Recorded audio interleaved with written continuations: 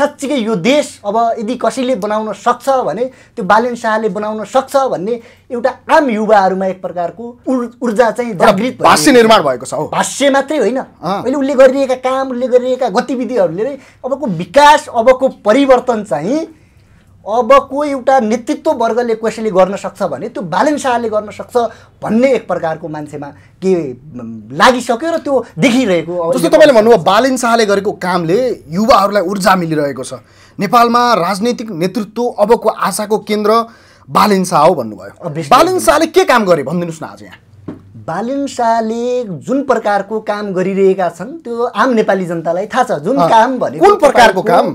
जुन नेपालमा अहिलेको अवस्थामा जुन दुई वर्ष कार्यकाल पुगिरहँदा जुन प्रकारको बजेट हेर्नुहोस् एउटा सुदूरपश्चिम प्रदेशको भन्दा बढी बजेट जुन काठमाडौँ महानगरपालिकाले जुन बजेट ल्याएको छ जुन बजेटले काठमाडौँका सडकहरू हेर्नुहोस् तपाईँ जुन काठमाडौँका सडकहरू अहिलेभन्दा चार पाँच वर्ष अगाडि जो कि काठमाडौँ महानगरपालिकामा तपाईँको विद्यासुन्दर साक्य यो महानगरको मेयर हुँदाखेरिको बजेट भौतिक विकास हेर्नुहोस् अहिलेको भौतिक विकास हेर्नुहोस् त। ती बाटाघाटाहरू हेर्नु हेर्नुहोस् त। दुर्गम ठाउँबाट आएको एउटा मान्छेले काठमाडौँमा तपाईँको नि शुल्क रूपमा उपचार पाउनका लागि एउटा सिफारिस ल्याएर काठमाडौँमा आउने हो भने नि शुल्क रूपमा उपचार पाउने व्यवस्था पनि बालेन शाहले गरिरहेको छ। हेर्नुहोस् अहिले स्कलरसिपको कुरा गर्नुहुन्छ। करिब करिब नेपालभरिबाट करिब तपाईँको बालन शाहले धेरैभन्दा धेरै विद्यार्थीहरूलाई नि शुल्क रूपमा पढाउने व्यवस्था चाहिँ काठमाडौँमा गरिएको छ। भनेपछि बालन शाहले गरेको विकास अर्को भन्नुहुन्छ भने दुर्गम ठाउँ नेपाल भनेको त काठमाडौँ भनेको त राजधानी हो। राजधानीको एउटा महानगरपालिका भनेको त्यो देशको सम्पन्न नगरपालिका हो। उसले आफ्नो नगरपालिकाको लागि मात्रै नभएर महानगरको पालिकाको लागि मात्रै नभएर देशका दुर्गम दुर्गम ठाउँका गाउँपालिकाहरूलाई एम्बुलेन्स वितरण गरिरहेको छ। भनेपछि बालेन शाहले जुन प्रकारको कार्यक्रम गरिरहेको छ यो कार्यक्रम भनेको प्रभावकारी कार्यक्रम होइन जो कि न्यु रोडमा हेर्नुहोस् त। न्यु रोड भनेको त त्यहाँ न्यु रोडमा आजभोलि न्यु रोड र असनको गल्लीमा तपाईँ हामी छिर्ने हो भने त्यहाँ हामी सास फेर्न गाह्रो भइरहेको छ। मानव जीवनलाई कति अक्सिजन चाहिन्छ भन्ने कुरा आम नेपाली जनतालाई आम विश्वलाई थाहा छ। अहिले प्रकृति जोगाऊ भनेर विश्वभर लागिरहेका छन्। ठुला ठुला विश्वका विकसित देशहरू पनि अहिले प्रकृति बचाउन लागिरहेको परिस्थितिमा जुन बालेन शाहले न्यु रोड क्षेत्रलाई अहिले खुला क्षेत्र छोड्न खोजिरहेका छन् नि त्यो भनेको त आम नेपाली जनताका लागि आम नेपालको स्वास्थ्यका लागि आम नेपालका व्यापारीहरूका लागि पनि राम्रो कुरा। भनेको अहिलेको आशा र भरोसाको केन्द्र भनेको केवल बालिन शाह हो त्यसो भए अहिलेको नेपालको परिस्थितिमा। जुन प्रकारले उहाँले निडर एउटा नेतृत्वले गरिराख्नु पर्ने काम गरिराख्नु भएको छ त्यो चाहिँ एउटा आशा लाग्दो व्यक्ति भनेको बालेन शाह हो र त्यसका निमित्त आम नेपाली जनताले अब बुझ्न आवश्यक छ एउटा स्थानीय तहमा स्वतन्त्र व्यक्तिले कति काम गर्न सक्छ भन्ने कुरा तर काठमाडौँको बालेन शाहले देखाइरहेको तर बालिन शाहमाथि विभिन्न लालछनाहरू पनि लागेका छन्। त्यो लालछना त अब नेपाली कानुन नमान्ने अराजकता शैलीमा प्रस्तुत हुने सिंहदरबार जराइदिन्छु भन्ने देशलाई। खतम पारिदिन्छु भन्ने एकदमै, नेताहरूको घर अगाडि लगेर फोहोर फाल्छु भन्ने। त्यो त फाल्नु पर्यो नि। यो देशमा तपाईँको दुई हजार सात सालदेखि भन्दा पनि अगाडि राणा शासन राणाबाट तपाईँको पञ्चायत हुँदै यो देशमा शासन गरिरहेका व्यक्तिहरूलाई तपाईँको ती व्यक्तिहरूले काठमाडौँमा आलिसान महल बनाएर आफ्ना छोराछोरीलाई तपाईँको रातो बङ्गलामा पढाउने अमेरिका अस्ट्रेलियामा उपचार गर्ने व्यक्ति अनि यही देशको नागरिक भएर यही देशको एउटा जुम्ला हुम्लाको नागरिकले नुन नपाएर मर्नुपर्ने परिस्थिति कसले बनायो भन्दाखेरि यो देशको राजनीतिक दलले बनायो होइन यी नेताहरूले बनायो होइन अनि यी नेताहरूले गरेको गलत क्रियाकलापका विरुद्धमा बालन शाह उर्तिँदाखेरि यी नेताहरूको त के हुने भयो भने रोजीरोटी खोसिने भयो। यिनीहरूको त विरासत सकिने भयो? हिजोका दिनदेखि नेपालमा शासन गरिरहेका यी के अरे यी तपाईँका दलालहरू हिजोका दिनमा नेपालमा शासन गरिरहेका यी तपाईँका यी पुँजीवादीहरूको त अब त यिनीहरूको रोजीरोटी र कमाइ खाने धन्दा सकिने भयो। त्यसो भए हुनाले उनीहरू त सकाउनका लागि लाग्नुपर्ने स्वाभाविक हो। दुई हजार सात सालको इतिहास बोकेको नेपाली काङ्ग्रेस दुई हजार चौध पन्ध्र सालको इतिहास बोकेका कम्युनिस्टहरू यिनीहरू त अब त सकिने भयो नि त नेपालबाट। सकिने भइसकेपछि उनीहरू त अब मिलेर कसरी हुन्छ? नेपालमा एउटा नयाँ पृथ्वीनारायण शाहको जन्म भयो। अब नेपालमा एउटा नयाँ व्यक्तिको जन्म भयो जो क्रान्तिकारी जुन व्यक्तिले अहिले नेपालका युवाहरूको हकमा काम गरिरहेका छन्। नेपालका सतहत्तरै जिल्ला सात सय त्रिपन्नवटा स्थानीय तहमा अहिले बालेन बालेन भनिरहेको विश्वको विश्व बजारले पनि अहिले विश्वको ठुला ठुला रङ्गमञ्चहरूले पनि ठुला ठुला तपाईँका विश्वको तपाईँका सहरहरूले पनि चिनिरहँदाखेरि आज बालेन शाहलाई त यिनीहरूले त सकाउन लाग्नु त पृथ्वी नारायण शाहसँग बालेन शाहलाई तुलना गर्नुहुन्छ तपाईँ? बालेन शाहलाई पृथ्वीनारायणसँग तुलना गर्ने कुरा होइन। मैले भन्न खोजेको प्रसङ्गमा भनेको बालेन शाहको आफ्नो पृथ्वीनारायण शाहले नेपालीकरण गरेका हुन्। त्यो मानिमा मैले त्यो भन्न खोजेको होइन कि बालेन शाहलाई कसरी भन्न खोजेँ भने उदाउँदै गरेको एउटा नयाँ निडर व्यक्ति हो नि त बालेन शाह भनेको। त्यसो भए हुनाले मैले भन्न खोजेको के भने त्यत्तिको निडर व्यक्ति चाहिँ फेरि म बालेन शाहको सपोर्ट भनेर बालेन शाहको मान्छे होइन। बालेन शाहकोले गरिरहेका गतिविधि जो यो देशको भौतिक पूर्वाधार मन्त्रालयले भौतिक पूर्वाधार तपाईँको सडक डिभिजनले गर्नुपर्ने काम यदि गर्दैन भने सडक डिभिजनको कार्यालयमा फोहोर खन्याउनु गलत हो। त्यो त उसको काम हो नि? शैली होइन त्यो। कसो अराजक हो? यिनीहरूले देश लुट्नु अराजक होइन। तपाईँको भौतिक पूर्वाधार मन्त्री रघुवीर महासेठले सुदूरपश्चिम प्रदेश र कर्णाली प्रदेश बराबरको बजेट आफ्नो धनुषा जिल्लामा हाल्नु यो अराजकवाद होइन। अनि यसलाई चाहिँ अराजकवाद नभन्ने जब भौतिक पूर्वाधार मन्त्री भएको व्यक्तिले काम भौतिक पूर्वाधारको काम नगर्दाखेरि अनि यसलाई चाहिँ अराजक भन्न मिल्छ। नगर्दाखेरि उहीको बाहिर चाहिँ तपाईँको बालेन शाहले महानगरले फोहोर फाल्दा यसलाई अराजक भन्ने। सिंहदरबारभित्र चाहिँ यिनीहरूले आफ्नो पुरै राजस्व के अरे सिंहदरबारभित्र आफ्नो साम्राज्य बसाएर राख्ने सिंहदरबार आफ्नो बाउको बिर्ता भनेर राख्ने यी राज्य सत्ताको लागि सिंहदरबारको फोहोर नउठाउँदाखेरि महानगरपालिकालाई अराजक भन्न मिल्छ। योलाई अराजक भन्न मिल्दैन। यो भनेको अबको आवश्यकता हो। यो देशको आवश्यकता हो। यिनीहरूले कहिलेसम्म शासन गर्ने? कहिलेसम्म नेपाली जनतालाई शासन गर्ने यिनीहरूले? नेपाली जनताको रगत र पसिनासँग कहिलेसम्म यिनीहरूले शासन गरिरहने? हो तपाईँले यो भन्दै गर्दाखेरि सुन्नुहोस् हिजोको दिनमा रविन्द्र मिश्रहरू जस्ता उदाए उनीहरूलाई पनि नयाँ भने देशले केही गर्न देशको लागि केही गर्न खोजेका व्यक्तिहरू भने उनीहरू पनि त्यस्तै भए। त्यस पछाडि उदय भयो रवि लामिछानेहरू जस्ताको। जसलाई नेपाली जनताले सर्वाधिक आशा गरेका थिए हिजो टेलिभिजनदेखि सडकसम्म जसरी रवि लामिछाने खटेका थिए त्यो देख्दा त नेपाली जनताले के सोचेका थिए भने रवि लामिछाने त त्यस्तो व्यक्ति रहेछ जसले नेपाली जनताको आशा भरोसा पीडा मर्म सबैलाई बुझ्ने व्यक्ति हो। आज तिनै व्यक्तिहरूमाथि विभिन्न किसिमका लालछना र आरोप लागेका छन्। उनी व्यक्ति आज गृहमन्त्री छन्। गृहमन्त्री रवि लामिछानेलाई कसरी हेर्नुहुन्छ ल भनिदिनुहोस् त्यसो भए। यसो हो सबै सबै नयाँ नयाँ हुन सक्दैनन्। जुन एउटा आम नेपाली जनताले जुन प्रकारले वैकल्पिक शक्तिको रूपमा उदाएका व्यक्तिहरू तपाईँको जुन बाबुरामदेखि भनौँ न एउटा। नयाँ शक्तिको रूपमा उदाएका बाबुराम एउटा हुन त पुरानो राजनीतिबाट आएका नेपालमा एउटा नयाँ वैकल्पिक राजनीतिको सुरुवात गर्ने एउटा बाबुराम भट्टराईदेखिको पालादेखि अहिलेसम्म हामीले नयाँ नयाँ भन्दै आएका व्यक्तिहरूको विगत हेर्ने हो र उनीहरूले गरेका गतिविधि हेर्ने हो भने उनीहरूले गरेका कामहरूप्रति त हामी आम नेपाली जनताले सन्तुष्टि हुनुपर्ने विषय छैन। अर्को कुरा के छ भन्नुहुन्छ भने यो संसदीय व्यवस्था यो संसदीय व्यवस्थामा प्रब्लम के छ भने बहुमत कसैले पनि ल्याउन नसक्ने। जब बहुमत ल्याउन नसक्ने अवस्थामा तपाईँको पार्लियामेन्टमा त बहुमतको सरकार बन्छ। जब बहुमत नल्याइसकेपछि भइदिन्छ के भने उनीहरू पनि सरकारमा जानका निम्ति कुनै न कुनै पार्टी वा कुनै कुनै एउटा अलायन्ससँग मिल्नुपर्ने हुन्छ। त्यसो भए हुनाले उनीहरू मिल्यो भने सरकार बन्छ मिलेन भने बाहिर बस्नुपर्छ प्रतिपक्षमा बस्नुपर्छ। अब सरकारमा गइसकेपछि रविज्यूले रवि जुन राष्ट्रिय स्वतन्त्र पार्टीले जुन प्रकारको एक्सन लिनुपर्ने थियो यदि सरकारमा कि त नगइदिएको भए हुन्थ्यो। यदि गइसकेपछि जुन प्रकारको एक्सन लिनुपर्ने हो त्यो एक्सन लिन सकेको छैन। जो सुरुवातीको जुन सुरुमा गृहमन्त्री हुँदाखेरि जुन प्रकारको गति देखिरहेका थियौँ जुन प्रकारको एउटा हामी आम नेपाली जनतामा एउटा आशा पलाएको थियो अब चाहिँ केही हुन्छ कि? अब चाहिँ एउटा भनौँ न हिजोका दिनमा एउटा आम गरिब दुखी जनताहरूलाई सेवा गर्दै एउटा मिडियाको माध्यमबाट पनि उहाँले न्याय दिने व्यक्ति अब साँच्चीकै न्याय दिनुहुन्छ कि? भन्ने आम नेपाली जनतामा एक प्रकारको चेतना थियो एक प्रकारको आशा थियो। जुन मन्त्री नै भइसकेपछि त गर्नुहुन्छ कि भन्ने आशा पलाएको थियो। त्यो आशा चाहिँ कता न कता?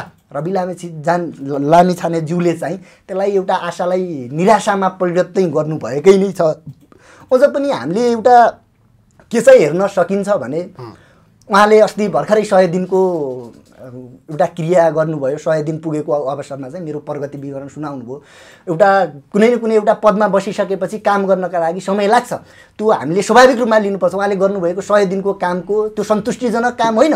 अझ यही सरकार करिब करिब तपाईँको एक वर्षसम्म उहाँले यही पद मन पदमा रहिरहने हो भने केही गर्नुहुन्छ कि भन्ने आशा चाहिँ राख्न सकिन्छ। अहिलेको अवस्थामा पनि गृहमन्त्री रवि लामिछानेसँग आशा छ त्यसो भए।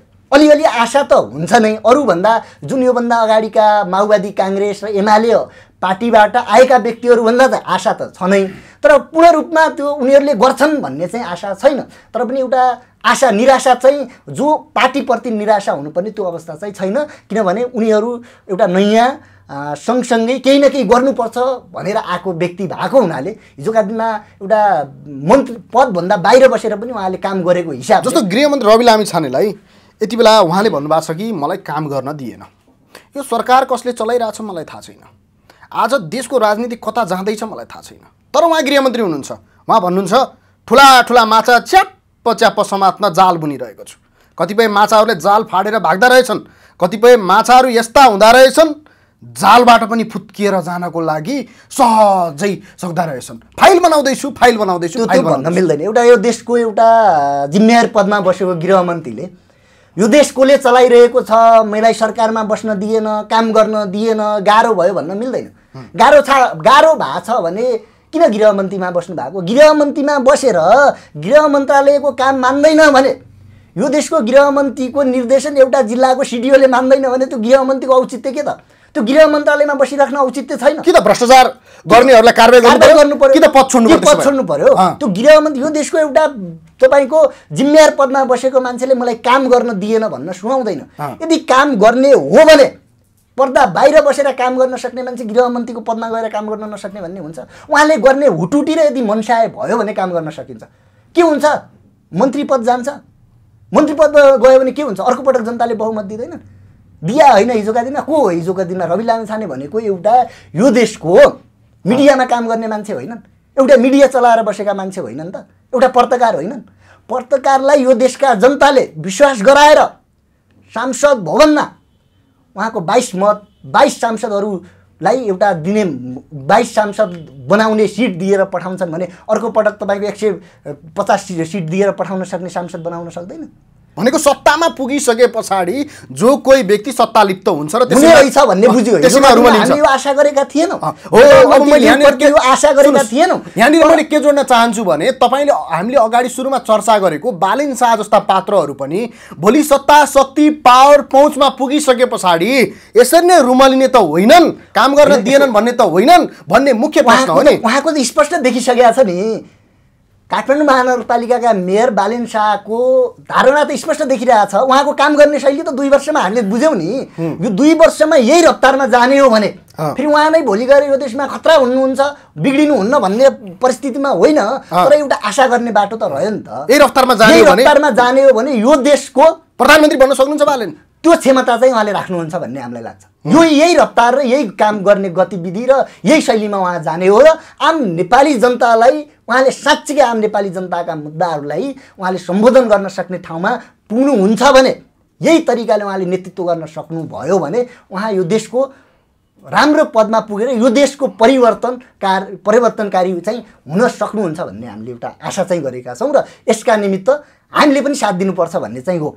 जसरी हिजोका दिनमा हामीले रवि लामे ज्यूलाई पनि राजनीतिमा आउँदाखेरि हामी एउटा उहाँको शुभचिन्तकको हिसाबले उहाँलाई धेरै पटक हामीले सहयोग पनि गरेका छौँ। चुनावको बेला पनि हामीले अप्रत्यक्ष रूपमा भनौँ न कतिपय ठाउँमा प्रत्यक्ष वा कतिपय ठाउँमा अप्रत्यक्ष रूपमा यो है नेपालमा एउटा नयाँ शक्तिको रूपमा उदयमान भइरहेको पार्टी हो। यो पार्टीलाई चाहिँ हामीले सहयोग गर्नुपर्छ भनेर हामी लागि परेको मान्छे हो। जुन प्रकारको पछिल्लो गतिविधि उहाँको काम गर्ने शैली उहाँका गतिविधिहरू उहाँले पाएका मन्त्रालयको गतिविधिहरू चार चारवटा मन्त्रालय पाएको छ नट जो यो देशको सङ्घीय मन्त्रालय चार चारवटा मन्त्रालय पाउँदाखेरि पनि उहाँले काम गर्न नसक्ने। सुमना श्रेष्ठज्यू शिक्षा मन्त्री हुनुहुन्छ।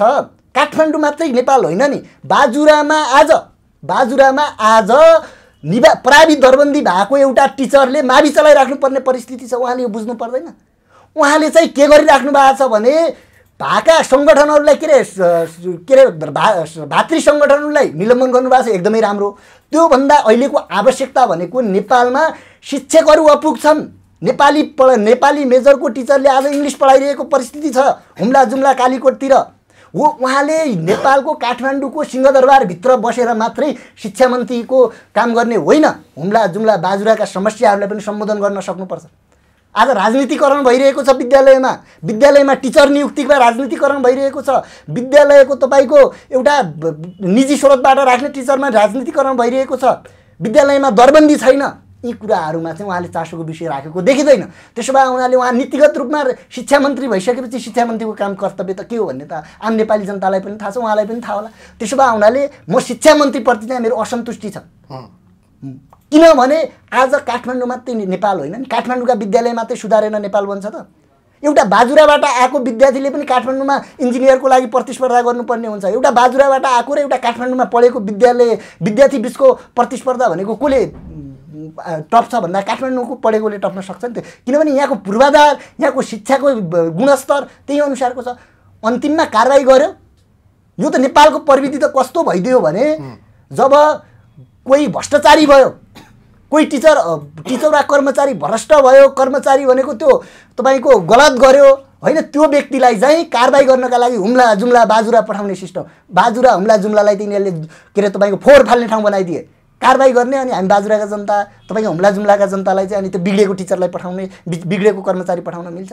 हो यसका विरुद्धमा पनि यी कुराहरूलाई पनि हामीले बेला बेला उठाउने गरेका छौँ र यी कुराहरू यो देशका मन्त्रीहरूले पनि बुझिदिन आवश्यक त नेताहरूको चर्चा भयो। आज नेपालमा भ्रष्टाचार मौलाउनमा नेपालमा विकास नहुनमा नेपालमा व्यतिथि फस्टाउनमा नेपाली जनताहरूको कतिको हात छ जस्तो लाग्छ तपाईँलाई?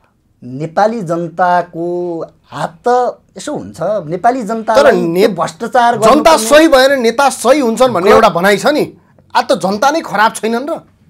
गलत नेतृत्व नै गलत भयो त अनि तपाईँको जनता गलत भयो तिनीलाई किन भोट हाल्ने? गलत छ भने तिनीलाई किन भोट हाल्ने? परिस्थिति त्यही छ नि सर। एउटा जुम्ला हुम्ला बाजुरातिरको एउटा आमालाई तपाईँको पाँच हजार रुपियाँ म दिन्छु तपाईँको घरमा पाँचवटा भोट छन् हाल्नु भन्यो भने पैसामा बिक्ने यिनीहरूले पुँजीवादी यिनीहरूले चुनाव बनाइदिए पैसाले भोट किन्ने चुनाव बनाइदिए बुथ कब्जा गर्ने चुनाव बनाइदिए यिनीहरूले बनाएनन्? पाँच हजार रुपियाँ दिन्छु तपाईँको घरमा कतिवटा टिकट छ भन्दाखेरि दसवटा टिकट छ ल तपाईँको घरमा दस हजार दिन्छु भन्यो भने नेपाल त गरिब देश। त्यसैमा पनि उनीहरूको परिस्थिति एकदमै नाजुक छ। होइन इन्डियामा मजदुरी गरेर नेपालीहरू अहिले देखिराख्नुहुन्छ केदारनाथमा मान्छे बोकिरहेका। अहिले त्यो भिडियोहरू भाइरल भएको छन्। कतै हेर्नु होला। ती भिडियोहरूमा म्याक्सिमम् मान्छेहरू भनेका ती पहाडी क्षेत्रका मान्छेहरू छन्।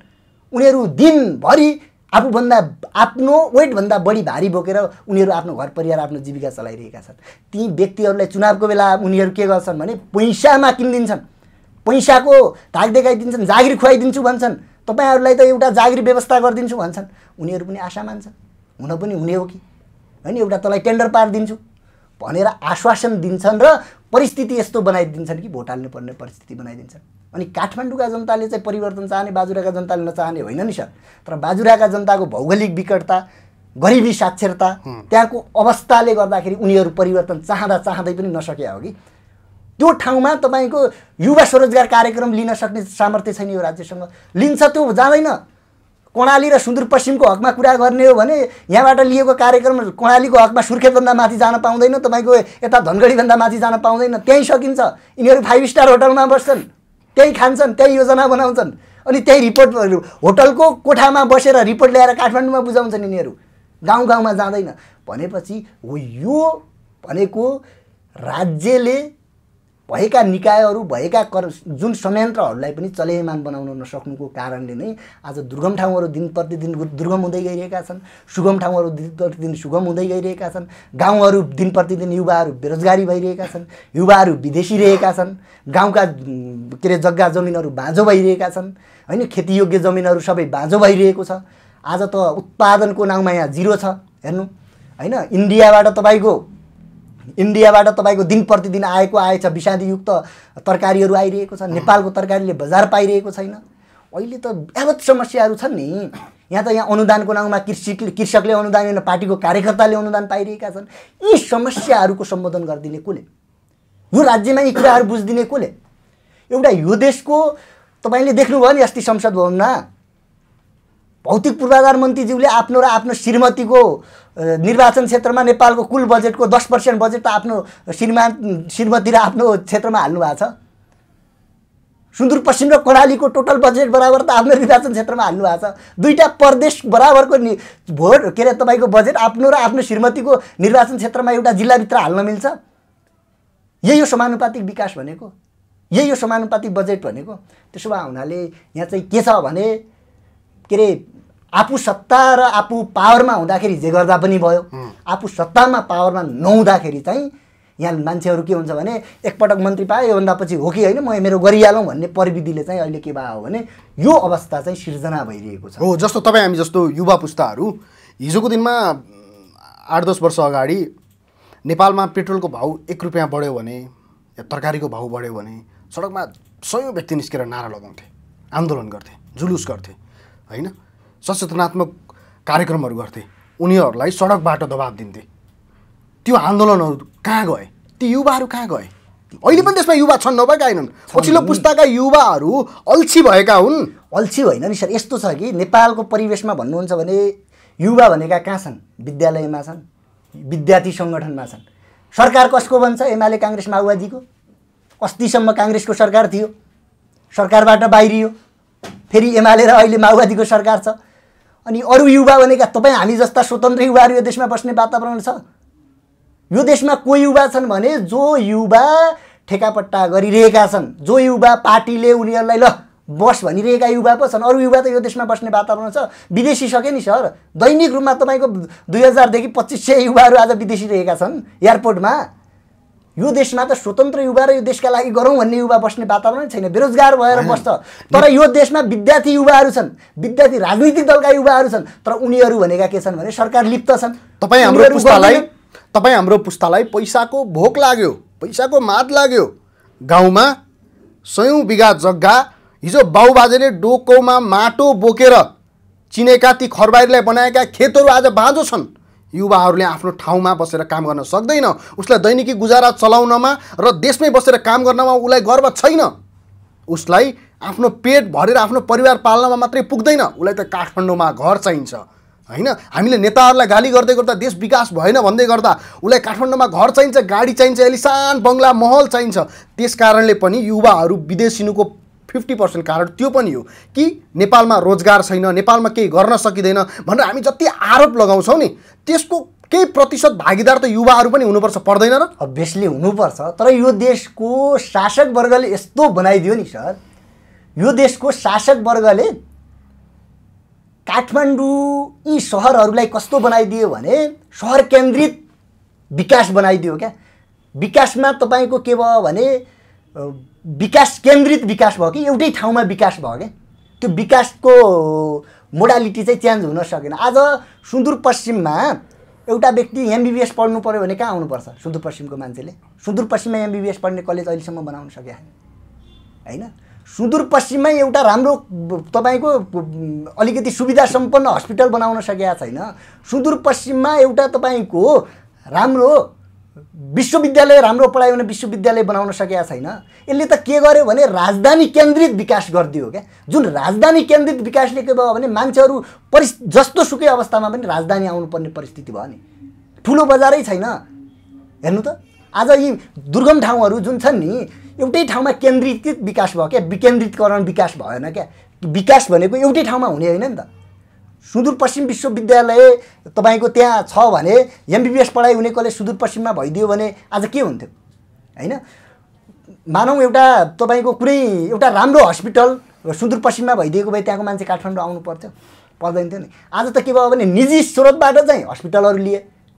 टिचिङ बराबरको हस्पिटल तपाईँको सुदूरपश्चिम पनि नभएर नेपालगञ्जमै एउटा नेपालको टिचिङ हस्पिटल टाइपको ठुलो हस्पिटल बनाइदिए भए के हुन्थ्यो? त्यो त छैन नि यिनीहरूले बनाएको।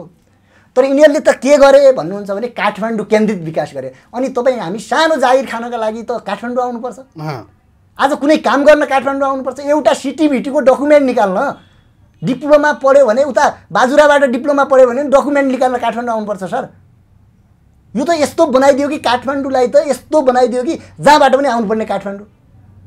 विदेश जानलाई पनि अन्तर्राष्ट्रिय विमानस्थल दुई तिन ठाउँमा बनिसके काठमाडौँबाट जानुपर्ने। चलाउन सकेन भन्दाखेरिमा यो देशको जो कि नेतृत्व छ नि जो कि यो देशको नीति नियम बनाउने व्यक्ति यो देशको बागडोर सम्हालिरहेका सिंहदरबार र बालुवाटारमा जुन बस्ने व्यक्तिहरू छन् नि उनीहरूले यो देशमा सिन्डिकेट लागू गरे। आगामी देशको आवश्यकता के हो त्यो भनिदिनुहोस्। अबको देशको आवश्यकता भनेको यो पुरानो दल पुरानो व्यक्तिबाट देशको सम्भव छैन। यो नयाँ भनिएका आएका व्यक्तिहरूबाट पनि हामीले सम्भव देखिरहेका छैनौँ। अबको विकास भनेको अबको देशको आवश्यकता भनेको युवा र देशमै केही गरिरहेका र देशमै केही गर्नुपर्छ भनेर लागिरहेका जुन पछिल्लो समय लागिरहेका व्यक्तिहरू जो कि आफ्नो ज्यानको आहुति दिएर ज्यानको प्रवाह नगरेर जुन लागिरहेका व्यक्तिहरू छन् तिनीहरूबाट देशको सम्भव हुन्छ र यो देशको स्थानीय तह पूर्ण रूपमा स्वतन्त्र हुनुपर्छ। भनेको तपाईँले भने जस्तो फेरि ती बुढी आमाले पाँच हजार लिएर तिनै पुरानालाई भोट हाल्ने नि त फेरि। हो त्यसको अन्त्य हुनुपर्छ। त्यसको लागि त आज हिजो एउटा घटना घट्यो तपाईँलाई थाहा छ अछाममा अहिले पनि छाउगोठमा एउटा सोह्र वर्षीय बहिनी बलात्कृत हुनु पर्यो। हिजो बल्ल सुन्यौँ हामीले समाचार।